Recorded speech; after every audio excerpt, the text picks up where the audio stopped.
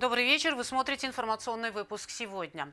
В связи с введенными карантинными мерами на ГТРК ИР и переходом на особый режим вещания, информационный выпуск сегодня временно переносится на 20.30. А теперь о главных событиях 4 ноября. Немедленно устранить имеющиеся недочеты. Анатолий Бибилов посетил красную зону детской больницы РММЦ. Особый подход к решению вопроса в связи с последствиями распространения инфекции. Открыта горячая линия по оказанию консультационной помощи. Помощь Югосетпотребнадзору в республике работают специалисты из Ставропольского противочумного института.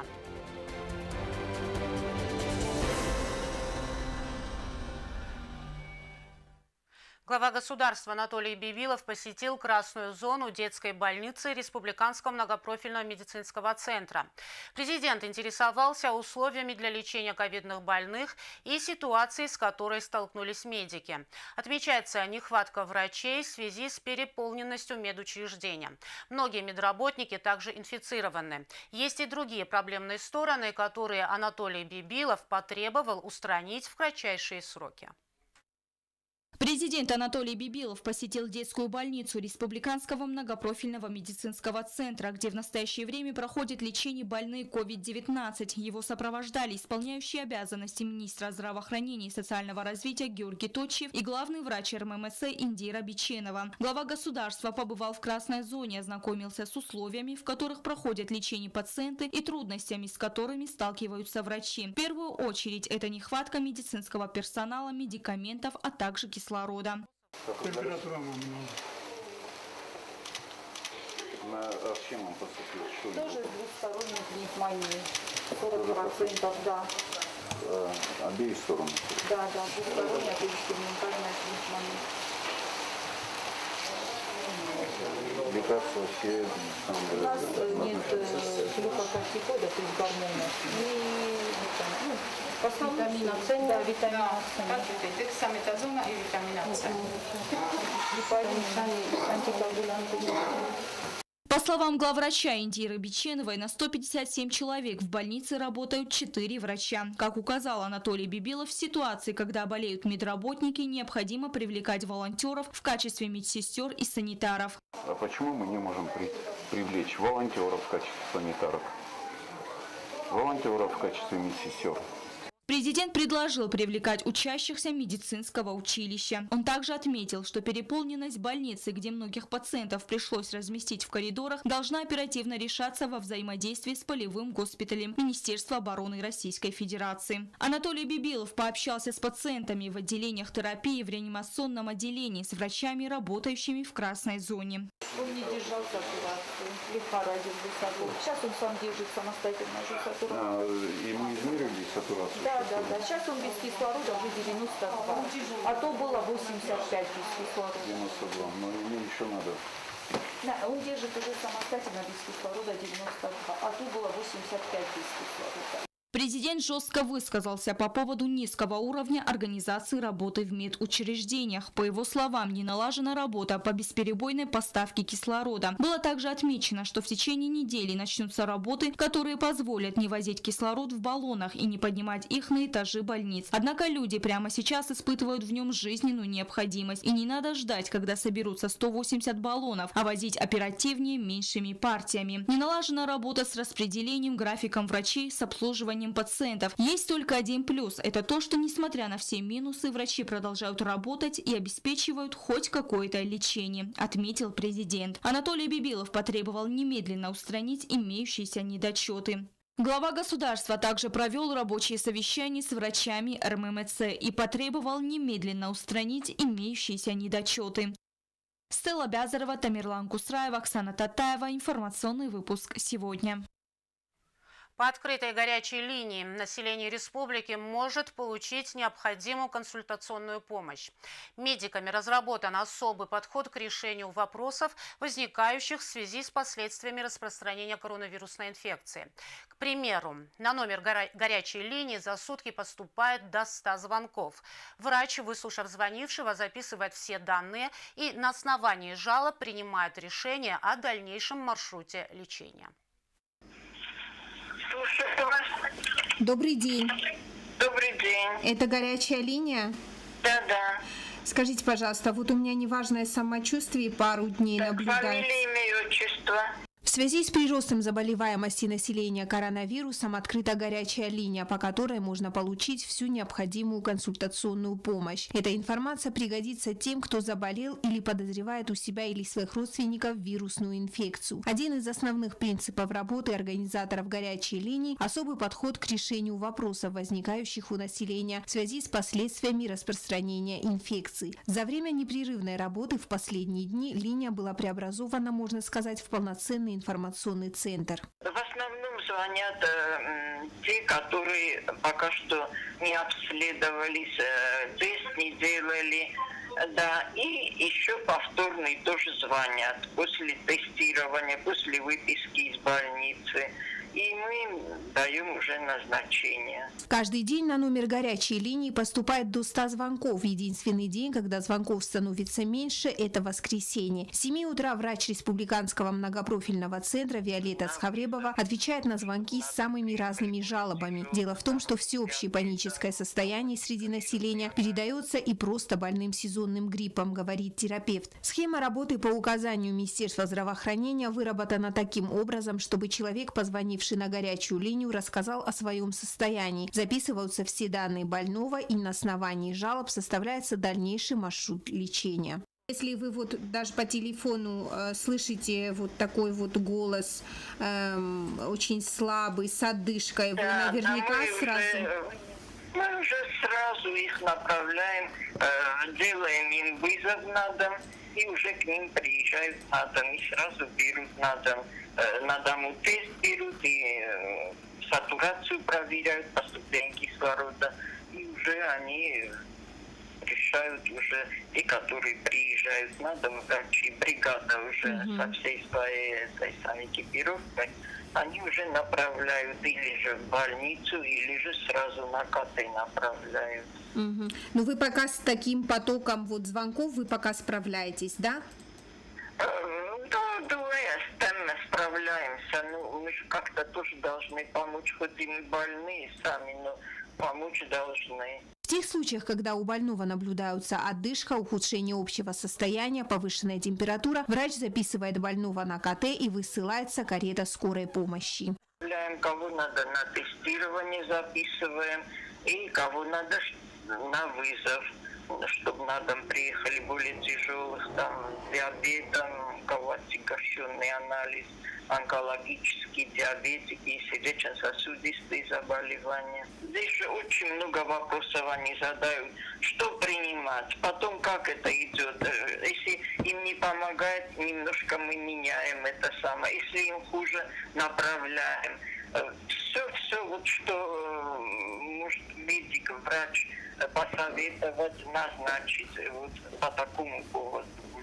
Напряженная эпидобстановка должна дойти до пика, а потом ситуация будет меняться в лучшую сторону. Но пока необходимо задействовать все возможные ресурсы и распределить работу таким образом, чтобы нагрузка была распределена равномерно и настроена на эффективный процесс. Яна Плива, Александр Кукоев. Информационный выпуск сегодня. В течение нескольких дней в республике работают специалисты из Ставропольского противочумного института. Медики оказывают практическую помощь лаборантам Югосайт-потребнадзора, проводят консультационную помощь и ведут мониторинг эпидемиологической ситуации. Также увеличилось и число проведенных ПЦР-исследований. Подробности далее. Специалисты из Ставропольского противочумного института приехали для оказания помощи Югосетпотребнадзору, потому что в республике эпидемиологическая ситуация остается сложной. Из-за роста числа инфицированных коронавирусом нагрузка на лабораторию Югосетпотребнадзора увеличилась в несколько раз. В стране крайне остро ощущается нехватка специалистов. Врач-эпидемиолог и два врача-бактериолога помогут местным специалистам в проведении ПЦР-исследований на COVID-19. Роспотребнадзором и нашим комитетом сложились очень тесные дружеские и деловые взаимоотношения. И вот очередной раз э, на основании э, нашего обращения к руководителю Роспотребнадзора Анне Юрьевне Поповой э, с просьбой оказать нам э, организационно-методическую помощь значит, в рамках вот нашего сотрудничества к нам приехали наши коллеги со Ставропольского противочумного института. Это наши давние друзья, наши коллеги, которые, э, начиная с восьмого года, оказывают нам постоянную помощь и материальную, и материально-техническую, и организационно-методическую помощь.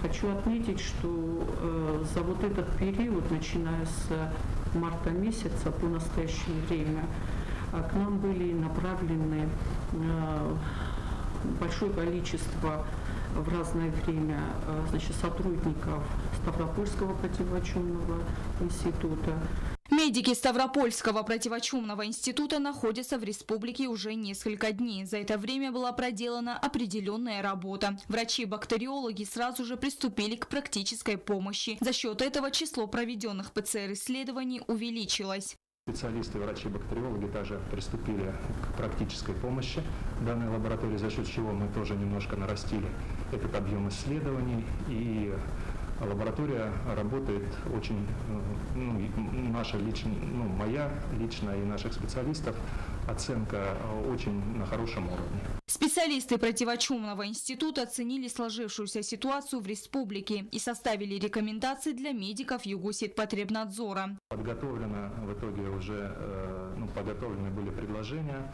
для руководства службы, соответственно, мы их обсудили все, и они уже на оперативном штабе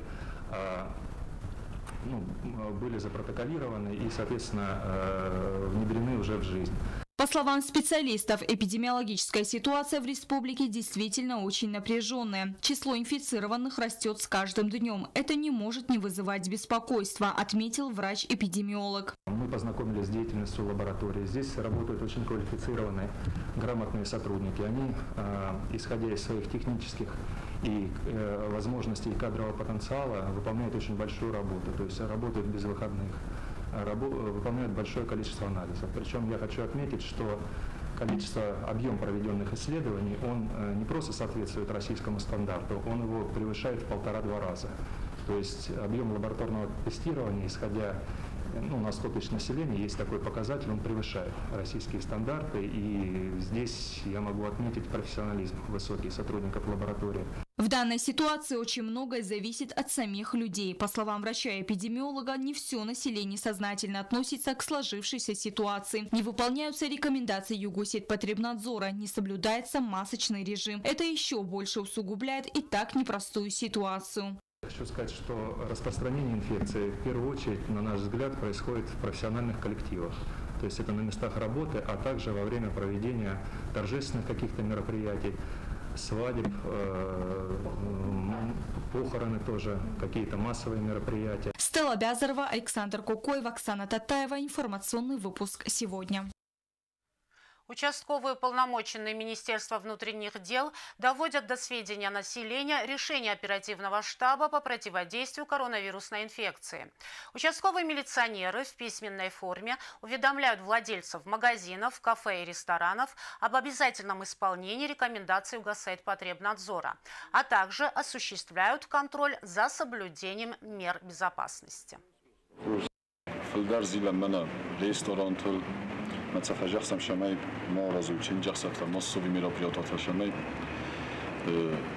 машинизм распространится каналов там и модор тардав зилджастан детски учреждения то есть спортзал то шамай удун дар мо курсы во время карантина и 15 число июн мо даме дар фажахсам шамай массови скопление мо разуима мотам билкануй охамбинатти кам мужно распространится кан оша низима цил бохизим тават чагано даме дар сахи В этом году строители приступили к возведению жилого комплекса на территории бывшей текстильной фабрики. Объект является переходящим. Ранее в связи со сложной ситуацией с коронавирусной инфекцией и закрытием госграницы появилось отставание от графика. Теперь ситуация выправляется. В республику поступают необходимые стройматериалы. Темпы работ ускорены. Строительство 75-квартирного дома на территории бывшей текстильной фабрики ведется с отставанием от графика. На темпы работ повлияла пандемия коронавируса. В республику стройматериалы поступали с задержками. Но сейчас строители по возможности наращивают темпы работ. В настоящее время ведется э, кладка стен первого этажа. Одновременно идет изготовление арматурных каркасов для, для перекрытий. В данном корпусе у нас 75 э, квартир два подъезда по э, два подъезда двухкомнатные квартиры и три подъезда одна, двух и трехкомнатные квартиры. Застройщиком многоквартирного дома является строительная фирма «Эстемюк». На объекте в основном работают приглашенные специалисты. После открытия государственной границы Южной Осетии с Российской Федерацией на стройплощадку строительные материалы поступают каждую неделю. Пользуются и местным материалом. Ежедневно ведется выгрузка строительных материалов кирпича, растворов, арматуры. Проектом благоустройства предусмотрена э, вся строительная площадка по окончании э, всех, всех строительных работ. Проект дома предусматривает строительство одного, двух и трехкомнатных квартир. Корпус строится в рамках инвестиционной программы. Его строительство завершится в конце следующего года. Анжела Кокоева, Арсен Гастев, Оксана Таттаева. Информационный выпуск сегодня. На этом наша программа подошла к концу. Я Ирина Джиоева. Желаю вам всего доброго и до свидания.